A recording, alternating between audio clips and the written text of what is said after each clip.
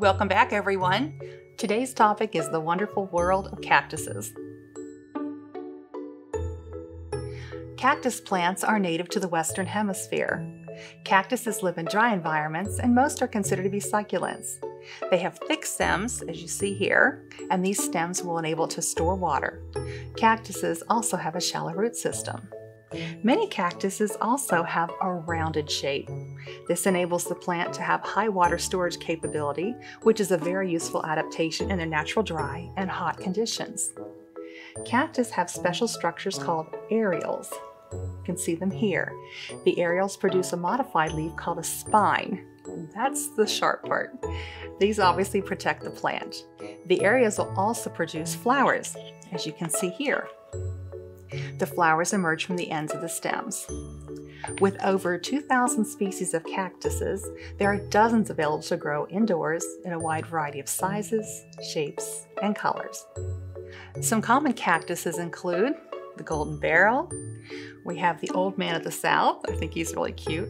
We have this special one called snowflake. We have the Opuntia family, which are common bunny ears, prickly pears, and often a cactus tree. We have balloons. This one's very special. It's a red-headed Irishman. We have this guy, who's very unusual. This is Sylvia. This one's a special favorite. It looks reddish orange, but its nickname is called Lemon. And last but not least, this fella. He looks like Pickles to me, but his name is Peanut.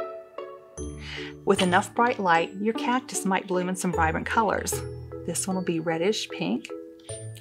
This plant looks like it's going to have a beautiful white bloom. Just remember, some of the blossoms may have a fragrance, but there are sharp spines under those beautiful blooms. The grafted cactus, as you see here, are actually two plants that are fused together. The colors, the sizes, and shapes will vary depending upon the species that are grafted. The grafted plant cactus is also known as a moon plant. The bottom is called a Hylocereus, which is a three-sided plant. It's rather nondescript, but it does have a very famous cousin, the Honolulu queen cactus, which is where we get dragon fruit. The top portion is actually a gymnocalcium plant. This plant is a gymnocalcium and you can see it's green. It has chlorophyll and chlorophyll is what the plant uses to make its beautiful green color. The cousin, which is used for the top of the grafting, doesn't have chlorophyll, therefore it doesn't turn green. In nature, it's actually a grayish brown color. When it's grafted on top of the rootstock, it actually emits these beautiful, vivid colors. So it really comes to life as a grafted plant. Taking care of your new cactus is easy once you know what to do. Let's take a look at this cactus. This cactus comes with a plastic sleeve which is used for safety because of these humongous spikes. So we're going to take that off very carefully.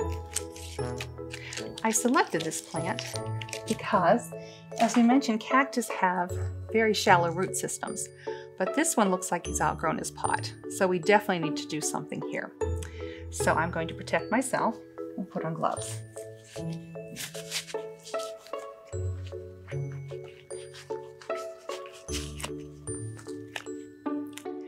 Carefully grasp the plant, if possible in between the areoles, and wiggle the plant out.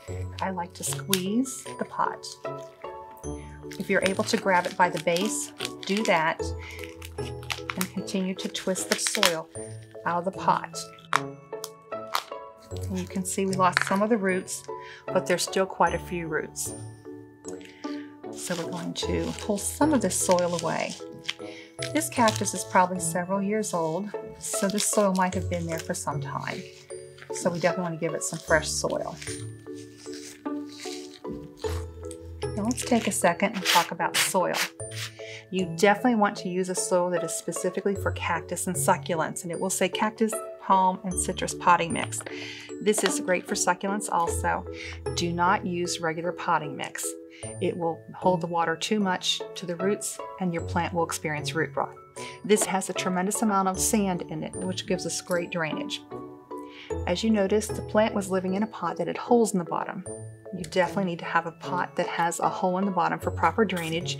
Even though you won't be watering it very often, you want to make sure you've got plenty of drainage.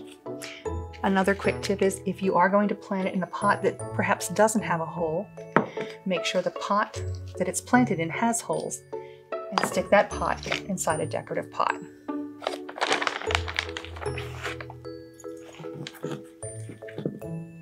And again, if you are able to hold it by the base and wiggle it into position, and remember, this is where you need to have gloves because the plant's going to fight you a little bit. I wanna make sure it's at a good depth. You wanna make sure the soil covers the plant up to the neck where it was in the previous pot. Gently push the soil into position and there you go. Now at this point, you may want to water your cactus, but I highly recommend not watering this cactus. As you saw, the soil that the plant came out of was quite wet. So the plant will be fine. Let it sit there.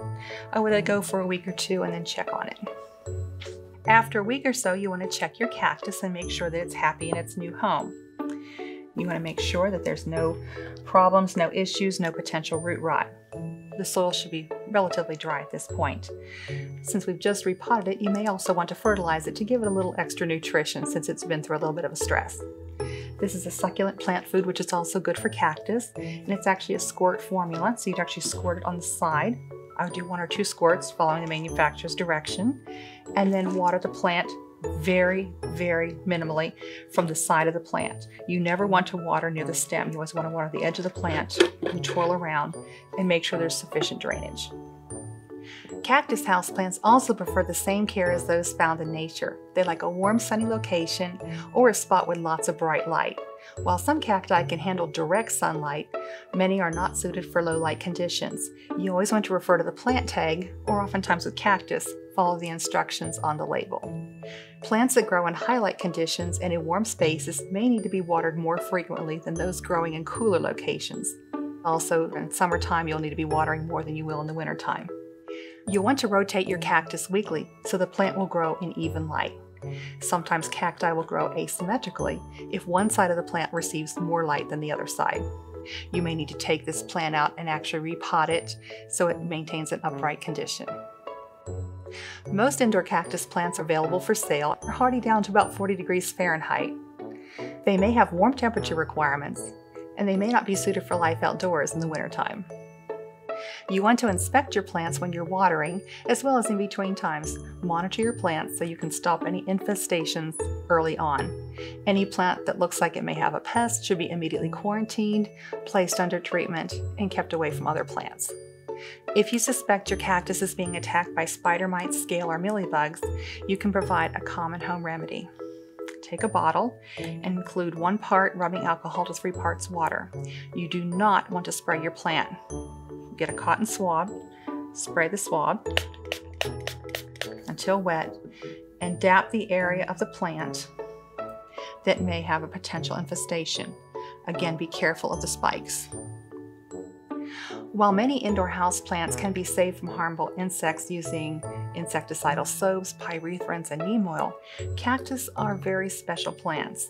You may not be able to use those products. You should always check the product labeling before applying to your cactus. Occasionally bad things will happen to good house plants, and I have a few things that happened here. Some of the plants actually lost several little branches when we were moving to set. Now don't be alarmed, you can actually turn these into new plants.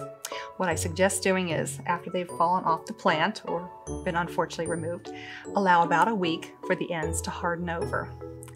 Once they've hardened over, you'll be able to plant them back in soil. I have two little plants here that actually fell apart about two months ago. I'm just going to take them and show you what's happened.